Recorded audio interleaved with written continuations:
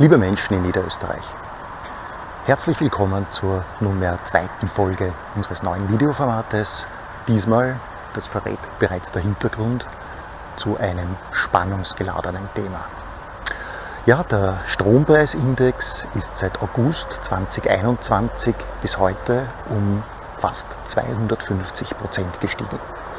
Und deshalb hat unsere wunderbare Landeshauptfrau Johanna Mikl-Leitner uns vor einigen Tagen ein wirklich tolles Geschenk angekündigt.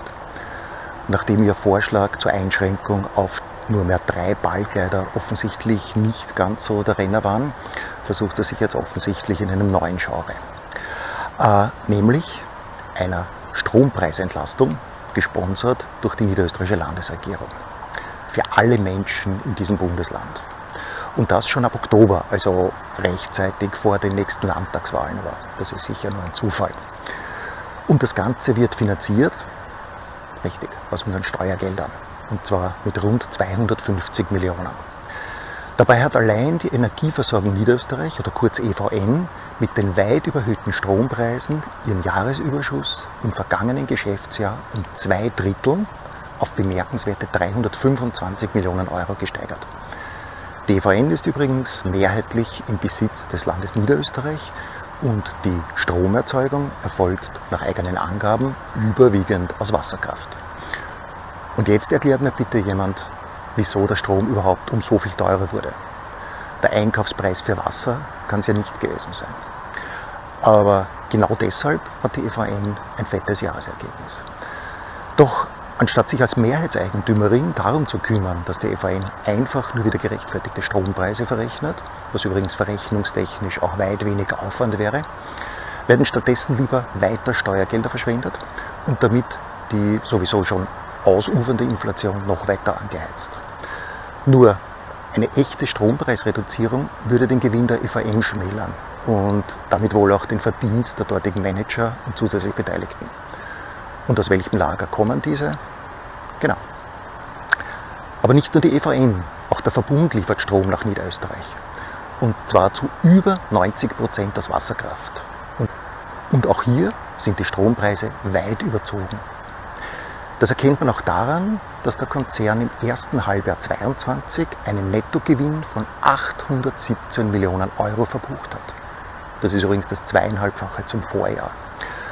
Hier müsste der Bund als mehrheitlicher Eigentümer umgehend verantwortlich handeln. Tut aber nicht. Zumindest nicht jetzt. Äh, Im Herbst, da soll es, zumindest laut Qualitätsmedien, äh, auch ein Zuckerl geben. Weil man uns auch hier für dumm verkauft, um uns kurz vor der Wahl mit eigenen Geldern zu ködern. Und auch hier mit einem unfassbaren Bearbeitungsaufwand. Und gleichzeitig verdienen auch im Verbund einige gut an dieser Preistreiberei.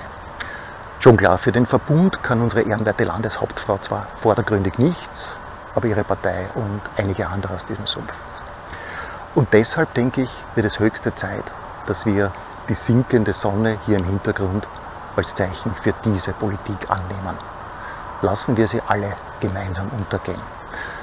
Nur im Gegensatz zur Sonne sollten wir zusammen dafür sorgen, dass diese Altparteien nicht wieder über den Horizont nach oben kommen. Sonst erleben wir nämlich eine wirklich tief schwarze Zukunft. Und das sollten wir zusammen mit allen unseren Stimmen verhindern. Mein Name ist Gerhard Iwan. Ich habe mich schon in der ersten Folge dieses Videoformats als Sprecher des NFG-Teams Niederösterreich vorgestellt. Und wir bieten euch an, endlich wieder Politik von Menschen für Menschen zu machen. Weil wir uns nämlich weder verbieten noch kaufen lassen. Und es wird höchste Zeit, diesen ganzen Wahnsinn auf wirklich jeder Ebene ein Ende zu bereiten. Vielen Dank fürs Zuhören und wenn euch weiterhin interessiert, was ich zu sagen habe, könnt ihr diesen Kanal gerne abonnieren oder ihr besucht mich auf meiner MFG Facebook-Seite. Bis bald und mit freundlichen Grüßen, euer Gerhard Iwan.